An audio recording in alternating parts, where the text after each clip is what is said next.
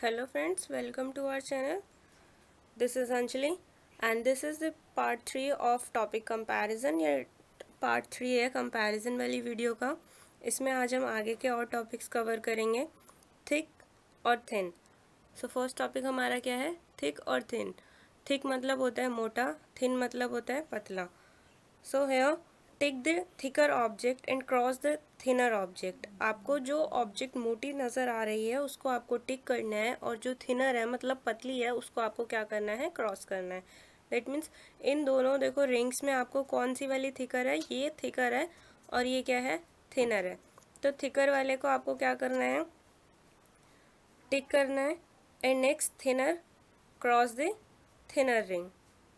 Next pencil pencil which one is thicker and which one is thinner first pencil is thicker then thick and second one is thinner than the first pencil then we will cross it and this is the pillow and this is mat pillow is thicker than the mat then we will tick the pillow and cross the mat क्यों क्योंकि cross हम कर रहे हैं thinner वाले objects को और जो मैट है, हमारी चटाई है, वो क्या होती है, वो पतली है और पिलो क्या है, तकिया क्या है, वो आपका मोटा है, इसलिए हम उसको क्या करेंगे?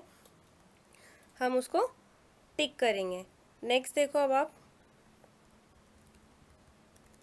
Tick the thickest pillar and cross the thinnest pillar वही कि अगर हम ज़्यादा चीज़ों को कंपेयर करते हैं तो थिकेस्ट और थिनेस्ट हो जाता है। मतलब थिकेस्ट मीन्स सबसे मोटा और थिनेस्ट मीन्स सबसे पतला। So which pillar is thickest third वाला आपका क्या है? थिकेस्ट है मतलब सबसे मोटा दिख रहा है और थिनेस्ट थिनेस्ट कौन सा है? फ़र्स्ट पिलर आपका क्या है? थिनेस्ट पिलर है। नेक्स्ट है आपका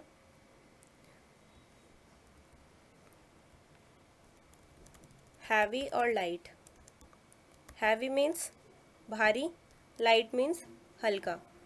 अब आपको पिक्चर्स को देखना है और आइडेंटिफाई करना है which one is heavier and which one is lighter heavy means भारी लाइट मीन्स हल्का. टिक द हैवियर थिंग आपको भारी वाली चीज़ को टिक करना है and cross the lighter thing elephant और मंकी एलिफेंट क्या है? हैवी है. देन टिक मंकी हल्का है. क्रॉस नेक्स्ट आपका. मशीन क्या होती है? हैवी होती है। हैवी वाले को आपको टिक करना है। और पेंसिल क्या है? आपकी लाइट वेट है। तो पेंसिल को आप क्या करोगे?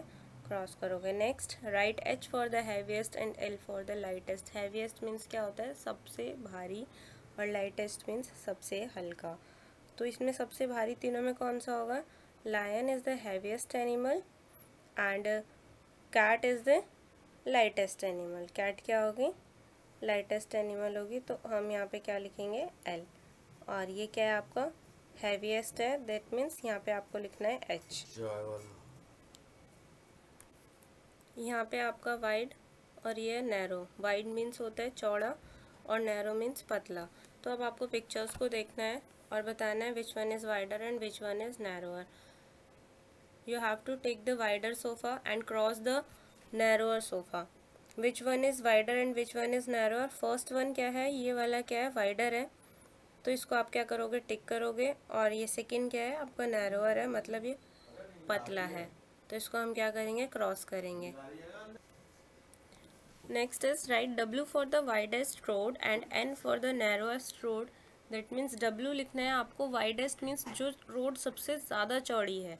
एंड एन नैरोएस्ट के लिए लिखना है आपको नैरोएस्ट मतलब जो सबसे पतली है। तो आप देख के आइडेंटिफाई कर पा रहे हो, सबसे पतली रोड आपको ये फ़र्स्ट वाली दिख रही है। तो इसमें आप क्या लिखोगे? एन क्यों? क्योंकि एन लिखना है आपको नैरोएस्ट के लिए then we will write here N for the narrowest road and this one is the widest road so we will write here W for the widest road next topic is same और different same means होता है एक जैसा different means अलग अलग now you have to watch this pictures and identify them they are same और they are different right S for the same things and D for the different thing there are two fans both are same दोनों के दोनों कैसे हैं? Same है तो हम इनके लिए क्या लिखेंगे? एस सोफ़ा, आपको इसका कलर, डिज़ाइन सब अलग अलग दिख रहा है तो हम इसके लिए क्या लिखेंगे? Different D. यहाँ पे नेक्स्ट, ये जो बर्ड्स आपको दिख रही हैं, ये बर्ड्स आपको सेम दिख रही हैं या फिर डिफरेंट दिख रही हैं? They are same. Then we will write here S. And they both are different. ये दोनों क्या हैं? डिफरेंट हैं। Then write here D. Both the cats are different same चीज़ वो होगी जिसको आप आइडेंटिफाई नहीं कर पाओ। मतलब कलर साइज़ शेप सब कुछ सेम होगा। डिफरेंट वो अगर कलर में वेरी करता है या फिर उसका डिज़ाइन वेरी है, अलग है तो आप उसके लिए क्या लिखोगे? डी और ये पेंसिल और स्टिक क्या है? डिफरेंट है। Then we will write here D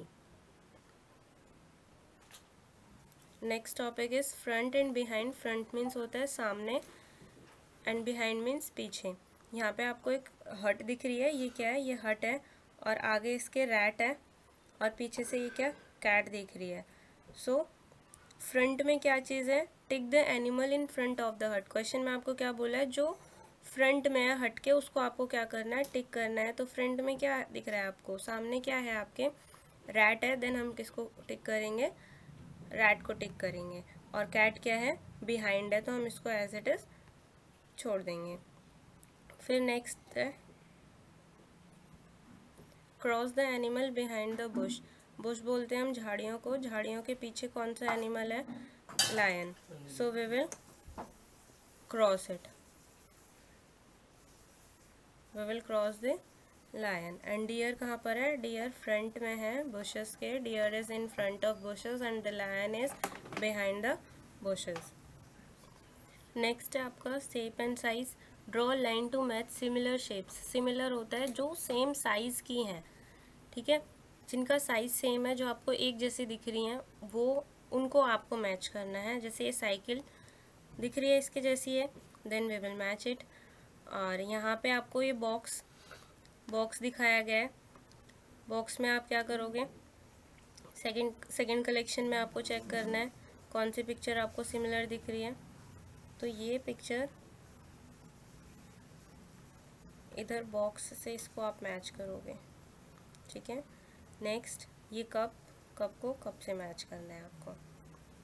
आगे आपका put the put a tick if the two collections have similar objects put a cross if two collections do not have similar objects आपको tick करना है।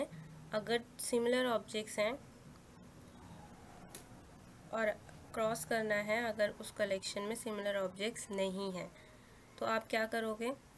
इसमें आपको check करना है कि सारी चीज़ें हैं सेम सेम है या फिर नहीं है। यहाँ पे पेन है, इधर भी पेन है, यहाँ पे एप्पल एप्पल अदर कलेक्शन में भी है मैंगो मैंगो भी है डॉल दोनों में डॉल है। Then we will take it why because two collections have similar objects and the both collections have similar objects now next is next में जब आप देखोगे तो इसमें देखो क्या आपको सारी की सारी चीज़ें सेम दिख रही हैं। इधर बैलून है फ़र्स्ट वाले कलेक्शन में और सेकंड कलेक्शन में बैलून है नहीं। तो ये डिफरेंट है, ये पेन है बॉल और एप्पल तो इसमें क्या है? डिफरेंट कलेक्शंस हैं। तो हम इसको क्या करेंगे? क्रॉस करेंगे। इसमें सिमिलर ऑब्जेक्ट्स नहीं हैं। सो यहाँ पे हमारे कंपैरिजन के बहुत सारे टॉपिक्स हमने फिनिश कर लिए हैं part one part two and part three में। तो आप कंपैरिजन के सारे के सारे टॉपिक्स को कवर करने के लिए वीडियो के ये पार्ट वन पार्ट टू और पार्ट थ्री सारे पार्ट देखिए। और अगर आपको वीडियो पसंद आई है देन लाइक करिए शेयर करिए एंड सब्सक्राइब करिए। Thank you for watching my video